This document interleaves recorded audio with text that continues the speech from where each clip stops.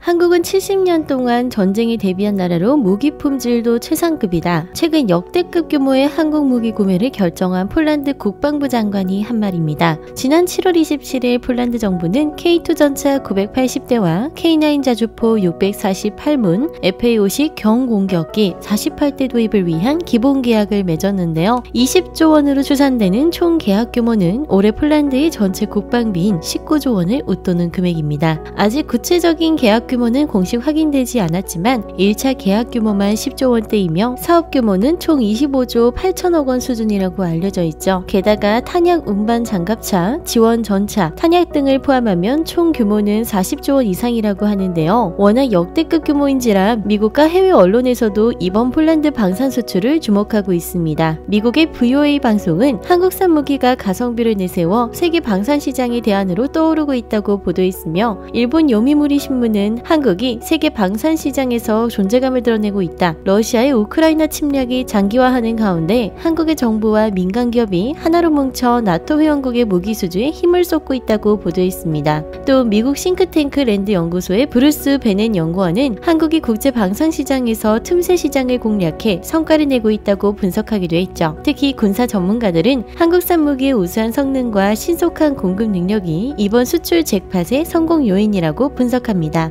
그러나 폴란드는 당초 미국과 독일 전차들을 차기 전차 후보로 적극 검토했었습니다. 지난 2월엔 미국의 최신형 전차 250대 도입 계약을 체결하기도 했지만 2025년 이후에야 도입이 가능했죠. 독일도 레오파드2 전차를 지원하겠다고 했지만 너무 구형이어서 폴란드 쪽에서 거절했습니다. 그래서 폴란드가 적극적으로 검토하게 된 것이 바로 한국의 K2 흑표였습니다. K2 전차는 M1A2 전차 최신형과 비슷한 성능을 갖고 있으며 수심 4.1m 도하 능력을 갖고 있어 강이 많은 폴란드 지형에 적합하다는 분석이 나왔죠. 또 화력과 장갑, 기동력 면에서도 미국 주력 전차인 M1 에이브럼스와 어깨를 나란히 하는 정상급 전차로 평가받고 있습니다. 현재 한국은 노르웨이와 폴란드, 에스토니아 등에 대한 K2 전차 수출을 추진하고 있으며 이때마다 등장하는 최대의 경쟁자가 있는데요. 바로 독일의 레오파드2 전차입니다. 레오파드2는 1970년 후반에 등장해 노후 모델이라는 평가도 받지만 강력한 엔진을 기반 기반으로 한 성능 개량을 꾸준히 해오면서 세계 최강의 전차라는 평가를 받고 있죠. 레오파드 전차 시리즈 중 최강이라 평가받는 레오파드 2는 120mm 라인메탈 활강포를 주포로 장착해 뛰어난 파괴력을 자랑합니다. 또 65톤의 무거운 덩치에도 1500마력의 power pack에서 뿜어져 나오는 힘을 통해 날렵한 주행이 가능하죠. 앞서 설명했듯 폴란드는 우크라이나에 전차를 지원하며 독일 정부로부터 레오파드 전차를 제공받기로 했지만 협상 과정에서 구형 과정이라고 폴란드가 거절해서 무산됐다고 합니다. 이 과정에서 폴란드가 독일을 패싱하고 한국 무기로 도배하는 계약을 하자 최근 독일은 열폭하는 모습을 보였습니다. 영국군 출신이자 군사 전문가인 니콜라스 드루먼드는 폴란드가 한국의 K2 전차를 사는 것은 매우 잘못된 선택이며 한국은 이 수출로 인해 전력 공백이 생겨 위험에 처할 것이다 면서 북한의 남침으로 인해 한국 전쟁이 발발하면 폴란드가 전차를 못 받는 상황이 생길 것이라고 망언을 했는데요. 이런 그의 발 발언은 수많은 해외 네티즌들의 공분을 사고 있습니다. 특히 니콜라스 드루먼드가 전쟁을 언급하자 일본과 중국까지 달려들어 분노를 표출하는 상황인데요. 중국 네티즌들은 우리가 나토처럼 전쟁 광인 줄 아나며 강하게 반발했고 일본 네티즌들 역시 북한이 전쟁을 일으키면 우리도 위험한데 전쟁이 반드시 일어난다는 니놈의 태도는 뭐냐면서 비난이 이어가고 있습니다. 그런데 알고 보니 이 군사 전문가는 독일 KMW의 군사 고문이었는데요. 해당 사실이 알려지면서 그는 더욱 가루가 되도록 까이고 있는 중이죠. 니콜라스는 K2 전차를 까내리면서 객관적인 척을 했지만 알고 보니 자신의 밥줄이 끊어질까봐 난리친 것이었습니다. 그런데 최근 K2가 레오파드2 전차를 압도하는 영상이 공개되면서 또 한 번 전 세계의 주목을 받고 있는데요. K2 흑표 전차는 1990년대에 대규모 전면전 교리를 기반으로 2000년대 초반 기술력을 가지고 개발된 모델입니다. 그 결과 전면 방어력 강화에 집중하고 측면의 장갑 두께를 최대한 줄였으며 부족해진 측면 측면 방어력은 반응 장갑을 사용해 보충하고 있습니다. 그 덕분에 55톤 수준의 전투 중량만으로도 측면으로 날아온 관통력 900mm급의 대전차 미사일을 1회 방어할 수 있고 곧바로 고기동력을 사용해 위험 지역을 탈출하는 전투 교리를 사용하고 있죠. 또 ISU를 사용해 차체를 위아래로 움직일 수 있어서 매복 공격이 가능함은 물론 엎드린 기능을 사용해 높은 곳에서 낮은 곳의 표적을 향해 포격할 수도 있는데요. K2는 노르웨이에서 독일의 레오파드2 전차와 치열한 수 수주 경쟁을 벌이고 있습니다. 지난해 12월 K2 전차 개발사인 현대 로템은 노르웨이로 K2 시제 차량 두 대를 보냈고 독일 방산업체도 레오파드2 CJ 차량을 보내면서 올해 1월부터 본격적인 비교 평가가 시작됐죠. 사실 처음에만 해도 노르웨이에서 레오파드2의 낙승이 점쳐졌습니다. 그도 그럴 것이 노르웨이는 오랫동안 레오파드 시리즈 전차를 운용했고 군수보급 시스템이나 교육 훈련 면에서 K2가 레오파드2보다 낫다는 의견이 많았기 때문입니다. 그런 데 막상 현지 평가가 시작되자 노르웨이 여론은 달라지기 시작했습니다. K2 전차가 기대 이상 성능을 보여주면서 레오파드2를 압도했기 때문인데요. K2 전차가 소구력을 발휘할 수 있었던 주된 원인은 바로 노르웨이의 자연환경이었습니다. 전체 국토의 26%가 산림인 노르웨이는 가상적국이라고 할 수 있는 러시아와 국경을 맞댄 북부 지역이 대부분 험준한 산악 지형이며 강설량도 많아 보통 차량은 움직이기조차 어려운 상황이죠. 그런데 레오파드2는 이와는 전혀 반대인